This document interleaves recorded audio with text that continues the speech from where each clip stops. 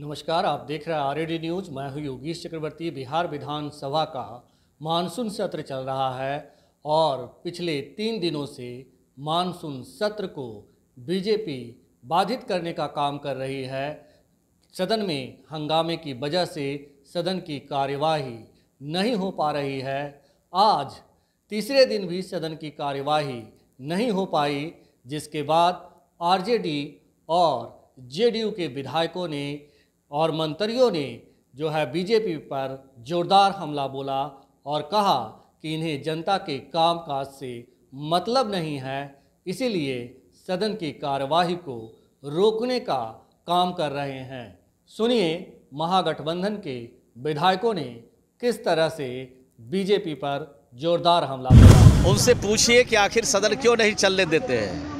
आप पूछिए उनको कि जो बिहार विधानसभा का कार्य संचालन नियमावली है, उसमें आपका भरोसा है कि नहीं है? जब विजय सिन्हा स्पीकर थे तो कैसे सदन चलाते थे? नियम से सदन चलाते थे या या या बिना नियम के सदन चलाते थे? केवल केवल सिर्फ़ और सिर्फ़ आग लगाना उनके फितरत में रही है, इसलिए जनता के समस्याओं से उन्हें कोई लेना देना नहीं है, इसलिए विधानसभा को वो बाधित करने का काम करते हैं। जनमानसों के समस्याओं के प्रति ज़रा सा भी संवेदनशीलता है?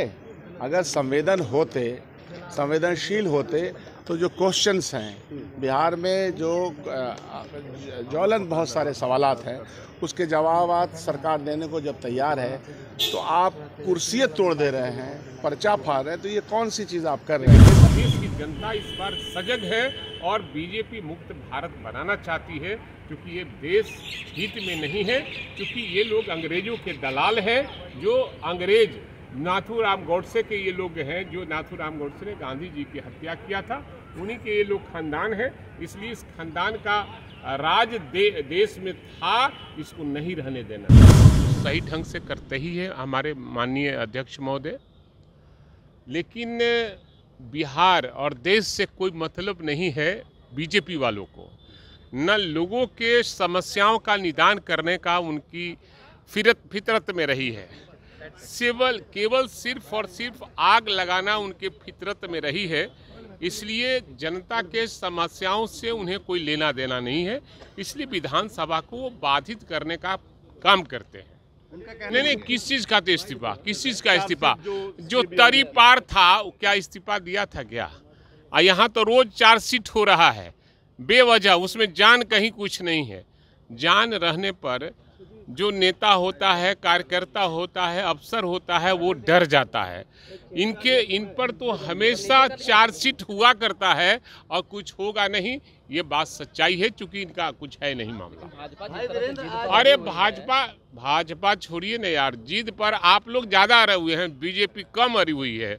और जो मैंने मोदी मीडिया है वो ज़्यादा इसको प्रेशराइज कर रहा है और जो मोदी मीडिया नहीं है वो ज़्यादा प्रेशराइज नहीं कर रहा बात समझ रहा है। सदन चलेगा सुचारू रूप से? एकदम सदन चलाने के लिए हम लोग हैं और महँगाई के खिलाफ में आज हम लोग मार्च करेंगे गेट से।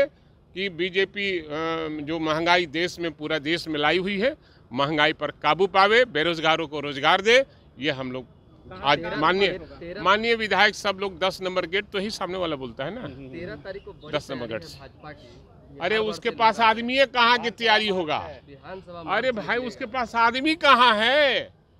कल रथ यात्रा अरे रे भाई रथ निकले चाहे यही बिहार है ना जहाँ आडवाणी जी का रथ रोका गया था पता है ना जनता उनको रोक लेगी ऐसे ही।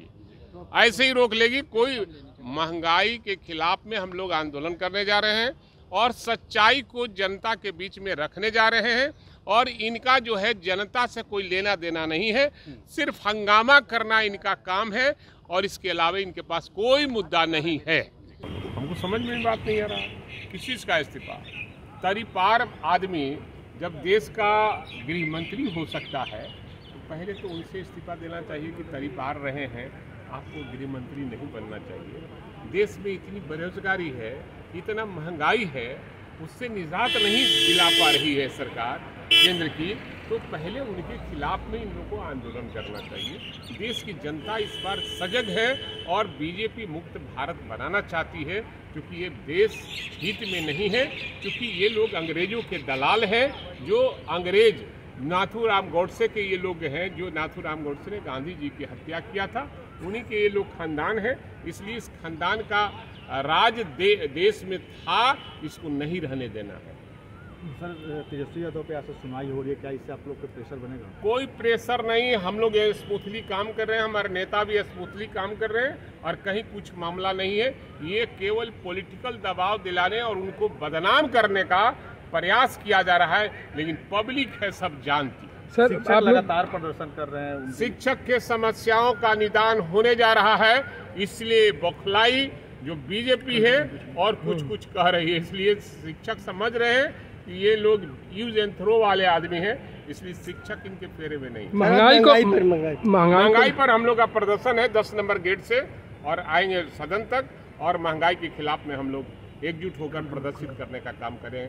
लोगों को मैसेज देंगे कि महँगाई के खिलाफ कल बीजेपी का बड़ा विधानसभा मार्च होने जा रहा है कई अरे भाई से लोग कोई उनके पास आदमी ही नहीं है तो कहाँ से मार्च होगा? वोट न भाट अंग्रेज़ी बाजा चले हैं अब बनने अपने राजा बिना कह ले? ठीक ठीक। वोट में भाग। तो आप सब लोग इंसाफ से ये बात कहिए कि क्या भारतीय जनता पार्टी को बिहार के जनमानसों के समस्याओं के प्रति ज़रा सा भी संवेदनशीलता है? अगर संवेदन होते संवेदनशील होते तो जो क्वेश्चंस हैं बिहार में जो ज्वलन बहुत सारे सवालात हैं उसके जवाब सरकार देने को जब तैयार है तो आप कुर्सियाँ तोड़ दे रहे हैं पर्चा फाड़ रहे हैं तो ये कौन सी चीज़ आप कर रहे हैं नेता प्रतिपक्ष का ये आरोप है कि आप बोलने नहीं दिया जा नहीं रहा है। नहीं एकदम नहीं आप सब लोगों ने देखा होगा ऊपर से कि ऐसा कुछ भी नहीं वो खूब बोले हैं अच्छे से बोले हैं अब वो आखिरी में करें कि नहीं इधर से तीन पूरा करें जो कोई भी क्वेश्चन होता है तो जिसका क्वेश्चन आता है वो तीन पूरक देता है। ये तो प्रक्रिया आज से थोड़े है जब से ये कायम हुई है ये अ, हमारा सदन उसमें है ये बात है। आज भी कुर्सियाँ उठाई गई। भारतीय जनता पार्टी को इस बात से कोई मतलब नहीं है कि बिहार के लोगों की क्या समस्या उस समस्या के बारे में एक सही आकलन डिस्कशन विधानसभा में हो। और आप देखिए ये गज़ब का ट्रेंड है। पार्लियामेंट के अंदर जो विपक्ष है उसको जवाब देने को सरकार तैयार नहीं रहती है पार्लियामेंट में और यहाँ जब सरकार तैयार है तो विपक्ष नहीं चाहती है कि सदन चले। ये डबल स्टैंडर्ड है भ्रष्टाचार के मुद्दे उनके कहने से क्या है। उनके उनके। भ्रष्टाचार के मामले मैंने शुरू से कहा है कि जिनके घर खुद शीशे के मकान में होते हैं वो हाथ में पत्थर कैसे ले सकते हैं? भारतीय जनता पार्टी और उनके नेताओं का इतिहास और जिसको जिसको वो ले रहे हैं। और ले करके एकदम दूध की तरह साफ़ शफाफ बता रहे हैं। उनका इतिहास क्या है? उनके खिलाफ तो मोर्चा लगाते थे चार्जशीट करते थे। तो इतिहास पता है ना हम लोगों को? तो डबल स्टैंडर्ड के लोग हैं और जनता के हितों के बारे में कोई चिंता ही नहीं है सर उनको। सर मंत्रिमंडल का विस्तार नहीं हो पा रहा है। कांग्रेस की तरफ़ से मंत्री बनाए जाने ये सब हो जाएगा। इससे इसको लेकर के जो लक्ष्य है हमारा 2024 का कि जो सरकार चल रही है देश के अंदर अधिनायकवाद की परेशान करने वाली सरकार जो है वो जाए। लक्ष्य एकदम निर्धारित है। ये सब चीज़ें भी हो जाएँगी समय से। दिन भी सर सदन नहीं चला लगातार विरोध कर रही है विपक्ष। क्या कहेंगे? उनसे पूछिए कि आखिर सदन क्यों नहीं चलने देते हैं। आप पूछिए उनको कि जो बिहार विधानसभा का कार्य संचालन नियमावली है उसमें आपका भरोसा है कि नहीं है? जब विजय सिन्हा स्पीकर थे तो कैसे सदन चलाते थे? नियम से सदन चलाते थे या या या बिना नियम के सदन चलाते थे। तो सदन तो नियम से चलता है और जिस तरह से इस तरह, जिस तरह से ये भारतीय जनता पार्टी के सभी माननीय विधायक और उनके विरोधी दल के नेता जिस तरह का कृत कर रहे हैं, बिहार की जनता देख रही है, इनको सिर्फ़ मतलब है अपनी बात मनवाने से हठधरता पर अड़े हुए हैं, रहते हैं इससे सदन नहीं चलता है। नियम के हिसाब से जो नियम है उसके हिसाब से सदन चल रहा है और उसमें जो प्रश्न लाएँगे उसका सरकार जवाब विरोधी दल बोल रहे हैं कि माइक बंद कर दिया जाता है बोलने का। पूरा अब ने, नेता विरोधी दल तो अब कोई बातें नहीं कर रहे हैं। उनको बात तो कहा गया। आप बोलिए तब बोलने के लिए क्या क्या बोल रहे हैं उनका रिकॉर्ड उठा के देख लीजिए। वो कोई बात नहीं बोलते हैं। आओ बाँव चाँव कुछ भी बोलने बोल करके अपना समय बर्बाद करते हैं सदन का भी समय बर्बाद। पक्षपात करने का आरोप लगा रहे हैं तो ये तो रिकॉर्ड की चीज़ है। ये तो ये तो विधानसभा के अंदर जो बातें हुई है उसको तो देखा जा सकता है उसको पढ़ा जा सकता है उसको समझा जा सकता है और डायरेक्ट टेलीकास्ट हो रहे हैं। तो आप सिर्फ़ नहीं सब बिहार की जनता देश की जनता देख रही है कोई भेदभाव नहीं है। सिर्फ़ और सिर्फ़ ये अपनी बात को मनवाना चाहते हैं। जब 20 मिनट का समय ख़त्म हो गया तब किस बात के लिए इनको समय दिया जाएगा? उनके लिए अलग नियम है और दूसरे मेंबर के लिए अलग समय है। सभी मेंबरों के मान बराबर हैं जो भी प्रश्न नियम के हिसाब से आएँगे उसका जवाब सरकार। कह रहे कि सद्दाम हुसैन की तरह सरकार चला रहे हैं आप लोग इनकी बात ही नहीं सुन रहे हैं अब तो अब तो अब तो वो अपने मन से जाने पराया दिल की हाल। अगर उस तरह से अगर वो सरकार में थे और चलाए होंगे उस जिस तरह से वो स्पीकर के पद पर थे अगर तानाशाह के रूप में अगर चलाए होंगे तो तब तो कुछ बात समझ में आती है। लेकिन ये सारी चीज़ें पारदर्शी है। और डायरेक्ट टेलीकास्ट हो रहे हैं। पूरी बात को देख लीजिए समझ लीजिए ये जो भी आरोप लगा रहे हैं बेबुनियाद है। डिस्कशन कर लेते हैं? अगवानी पुल पे वो कह रहे हैं डिस्कस करने तो वो कह रहे हैं आप सवाल नहीं ले तो रहे हैं। निय- नियम से लावे ना प्रश्न को। नियम से ला रहा कहाँ रहे हैं? जब 20 मिनट खत्म हो गया तो उनके सवाल का जवाब कहाँ से दिया जाएगा? और सबसे पहले तो अल्पसूचित प्रश्न का जवाब उन्हीं के पार्टी के राणा रणधीर सिंह का है। उसका जवाब सरकार ने दिया। और तारांकित सड़क से सदन तक हंगामा करेंगे ये प्रदर्शन भी करने तो वाले हैं तेरह अब तो तारीख को। अब तो जहाँ उनको हंगामा करना है कौन कौन रोक सकता है? बिहार की जनता उनको भेजी है सदन में बहस के लिए सार्थक बहस के लिए।